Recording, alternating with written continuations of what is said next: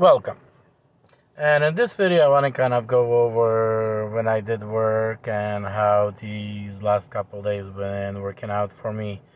So as you guys can see, uh, the 14th and the 15th were the two days that I worked in December. That was towards the end, and if you guys can see that I made like only one delivery in 1969. Then on the 14th, I did Spark with 133 bucks. then I did uh, two more days on the 22nd of December, which I did DoorDash. Uh, that that afternoon, I did one Spark in the morning, and then Uber afternoon. and then the 23rd, uh, where I did morning DoorDash and Uber, and that was it. so then, you know, since then I did nothing until uh, January 31st, which is the last day of the month and I did $140. I started off with uh, Spark in the morning, did a $93 worth. That's for deliveries. And then in the evening, I started off at 5 and went till 8 with DoorDash. I did turn on uh, Uber a couple times, but Uber were sending two, three, four dollar offers, and I didn't like it. As you guys can also see, I got only one 1650 on the Spark. All the rest of them were, you know, above 18 bucks. And I'm kind of focusing on taking 1850 or higher. That gives a $10 tip, a minimum of $10 tip on an order. So then, uh, January 1st, uh, February 1st, I took two orders. That's the day that I got in an accident uh, with that $822 order and I was hurrying on, you know, picking up that second order 921 when that accident happened. So that was my January 1st. Yesterday, I started off at 9, at 7. The 8 o'clock wasn't worth taking it.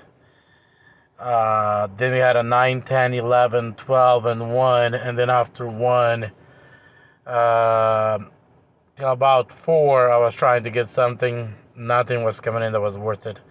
Uh, but I did get an offer at one time yesterday where it was like 50 miles for 50 miles, 12 stops, and it was going to Venice store. I wasn't interested in that one. And then uh, because you know that would have turned into like 65 dollars or uh, 65 miles, and probably three if not four hour delivery. Uh, another time I got an offer for my local store, um, 30 miles for 25 bucks or something. Don't remember how many stops.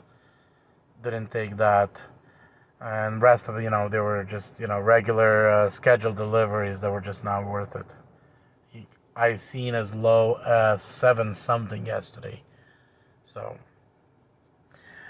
so that's where I'm at right now. Um, today. Uh, it is uh, 10:28. You guys can see I'm about to start going to, for the pickup. Started off at 7:20. I had a story, and I'm gonna share with you guys. And let me turn on the camera for this one. Uh, I had a delivery where it was an alcohol. It was my second stop, so I dropped off my first one, came to the second one knocked, called, text message, total silence. Uh, so I started a, about eight minutes later, which either way I would have, because, you know, with the return, I would have never been able to land the second, uh, you know, that uh, 8 o'clock uh, drop. So that's why I kind of, you know, gave eight minute wait because, you know, that's when, you know, actually my alarm went off that it's time for a drop. And so I started return halfway to the store customer calls back and says, "Hey, can you redeliver?" Uh, and I'm like, "Hey, but I do need. I did knock, nobody answered, and I do need a driver. You know, driver driver's license for age verification uh, for the app." And she's like, "I did had eight alcohol deliveries. Nobody, uh, ever asked for an age verification. They would just leave the order at the door. Like it says, leave it at the door. Of course, you guys do know that all alcohol deliveries also require signature on Spark. So for me, kind of was a you know surprise, and I think just pulling the leg because unless you put in random stuff in the app, otherwise you cannot really proceed with an alcohol delivery to complete the, delivery. So is people doing that? So I decided, okay, sure, I'll redeliver. You know, I do not know which customer gave you a ten dollar tip, and I didn't want to lose uh, get, uh, the ten dollar tip. So I said, sure, I'll redeliver. And here's the story. I did redeliver. Uh, you know, on my way back, I tried uh, talk with Spark. Uh, they said not to do it again. If I start return, return it to the store. But here's, uh, but you know, since already back at the customer's door, take a picture of the driver's license. And they'll send me an email where I can respond. Hanged up, no email received. Had to call back and finally got that taken care where actually they sent me to a level 2 Spark uh, support.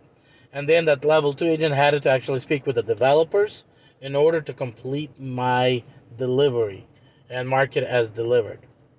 And so pretty much policy at Walmart, uh, Spark looks like change. So right now we no longer can uh, proceed with the delivery, especially with alcohol, because they're having issues on uh, getting that delivery mark as delivered. So where before they actually encourage us to redeliver if we are willing to. So now if you start a return, you have to complete that return and take it back. So you know, just something uh, for you guys to know about. So yeah, I lost uh, the 820 drop. 920, as you guys can see, 2350, and I just landed a 1021, uh, 1020 uh, drop for 25 bucks. So um, let's start the trip. So yeah, uh, looks like changes us uh, has ch- a few changes I noticed on the app as well. Um, and that changes. We are able to see now uh, in our screen when we click on item uh, count, we're able to see items now, pictures. Of course, as long as that, uh, as long as you know we have a decent internet, so that's kind of nice.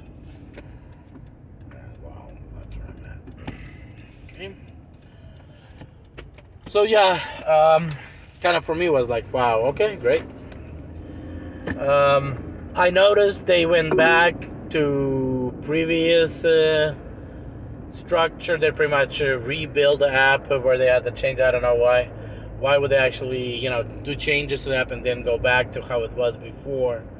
But pretty much all the system I've been using in the summer when I was in Idaho, it's back to the same system.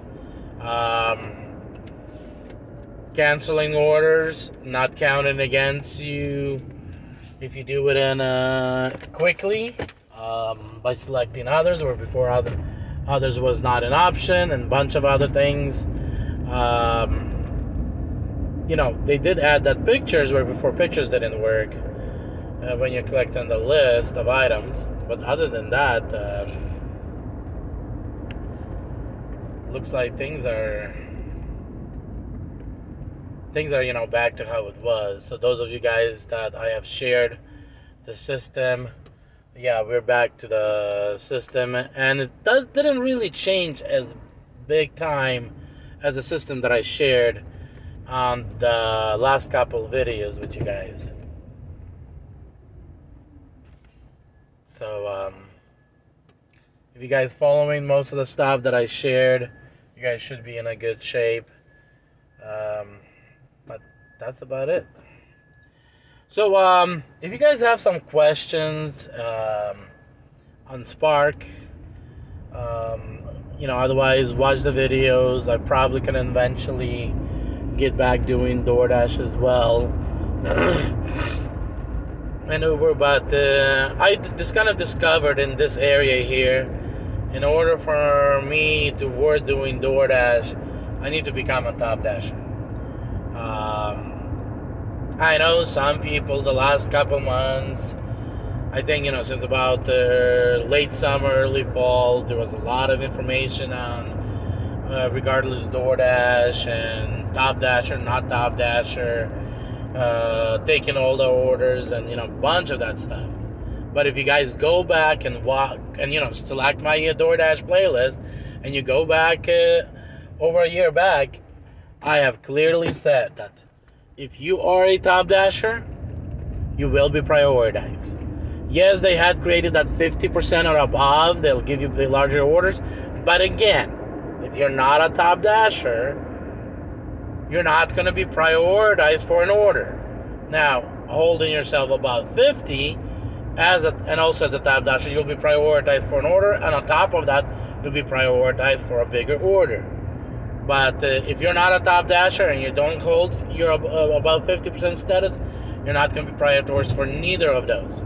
Now, if you're holding above 50 but below, but not a top dasher, you will be prioritized for large, uh, bigger orders, but only when top dasher not available or refused an order. So remember, guys, if you guys want to be busy with DoorDash, you turn on an app anytime you want, as long as it's uh, you know somewhat busy, and there's uh, uh, you know enough of you, but not too many of the top dashers, you will be prioritized over over the non-top dasher. Second, I'm pretty sure they still kept it like it used to be in the past. They will give you orders up to mile and, and a half away from a store even if you're not the closest driver to that store. Whereas a non top dasher, you have to be fairly close to the store in order to get a delivery from that store. So there is benefits being top dasher, and I'm pretty sure those top dasher benefits still stayed. Um, and I will try to see if if I can uh, requalify myself to a top dasher this month. So next month we can prove that. I did took a break as I shared in the previous video you guys can watch and I do need to kind of you know share what happened there because it was a little crazy things that I had that we as a family had to go through. And a lot of it has, is, related to the war that's happening in my home country. So, um, yeah, I'll be sharing that, I guess. So you guys can actually, you know, know things that happening. The war is not just uh, back there. The war is be- between Russians and Ukraine.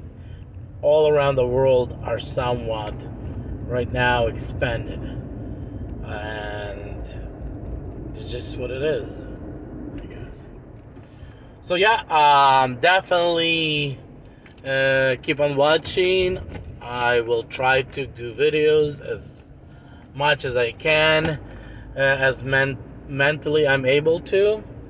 Uh, yeah, I'm working on you know my uh, roofing project job, which or um, I don't know contract, which haven't had much success, and that's another thing is I need to go not just pass out flyers, but also need to go and knock on the doors.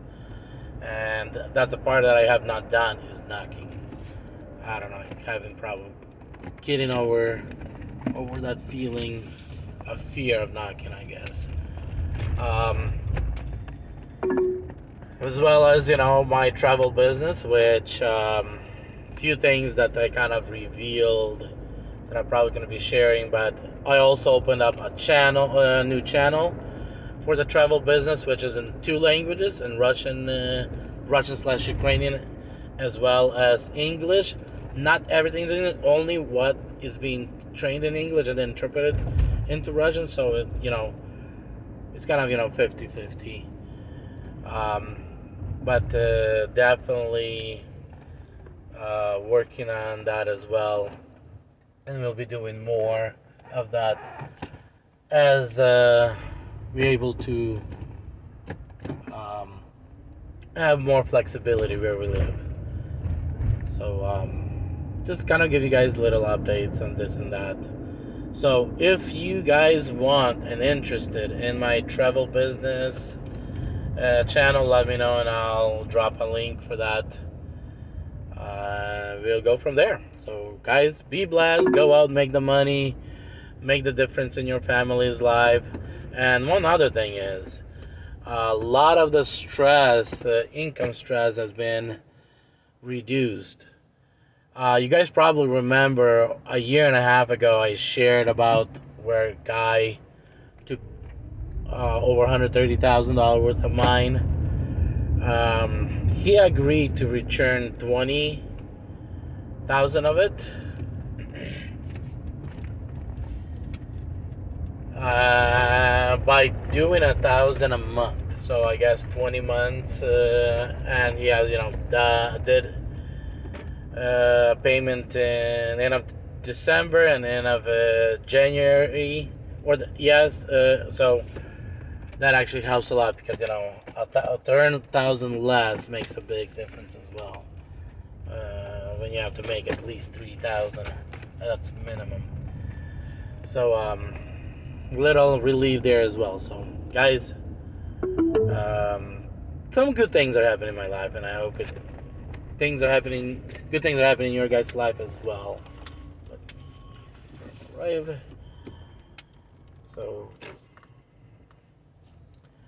um, we'll be back with uh, another video. So, guys, be blessed and go out make that money and be successful. Take care.